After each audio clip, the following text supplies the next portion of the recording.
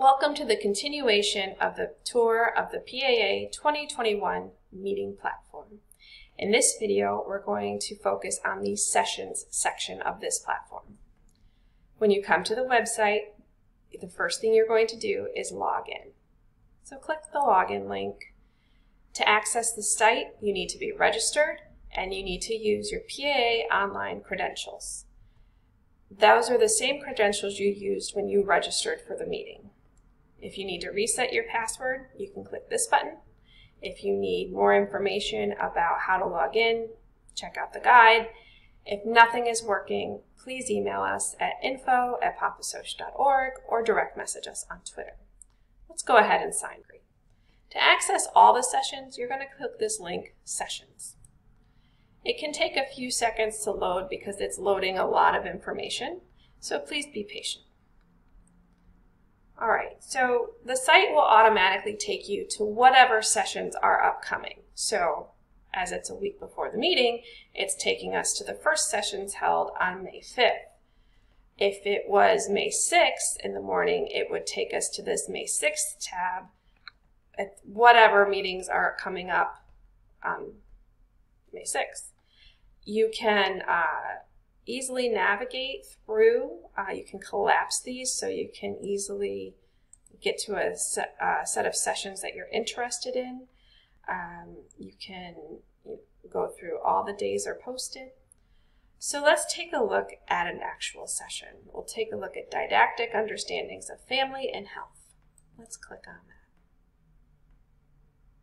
So on this page, you're going to see all the information about the session itself. You're going to take a look at the chair, the discussant, it gives you the time and the date, uh, and then the title of each presentation, a link to the short abstract, which takes you here so you can learn more, and a link to the full paper if it's available, which takes you here. Uh, and then you have information about the presenting author and the co-authors for each presentation that will be given during this session. Now, at this point, if you want to go back to where you were, you want to click your browser's back button. If you want to go back to where the meeting is currently, you're going to click back to session.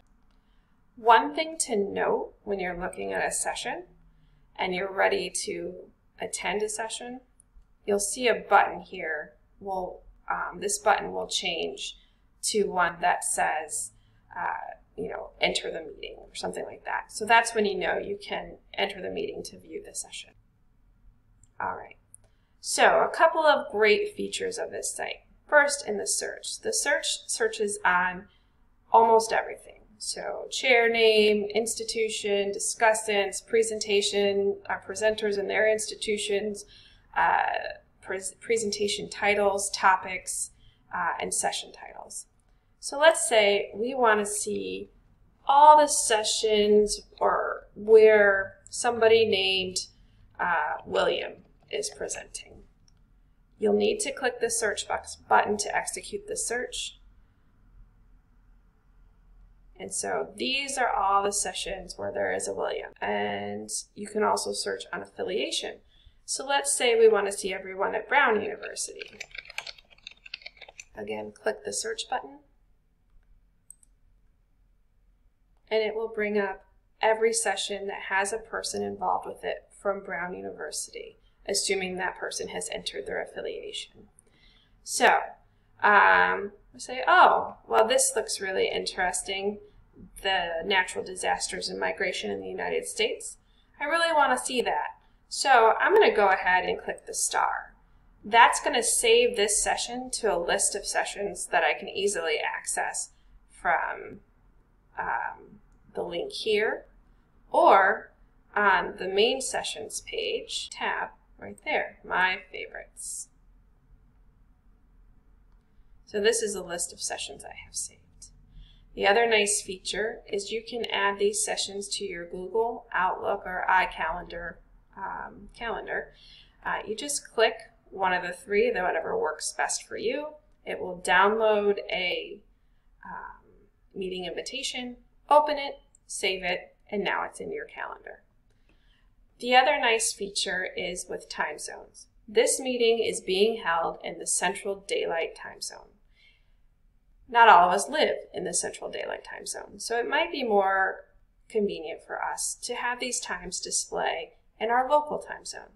I'm currently located in the Eastern Time Zone. So I want to change the times to reflect my time zone. So I'm going to click Change, and then I'm going to select my time zone, which is right here. I'm going to click Select. You're going to see a little thing show up, and now the times are changed. So now they display in Eastern Daylight Time.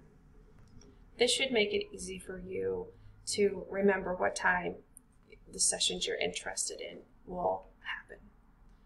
The other items you should be aware of are the specific list.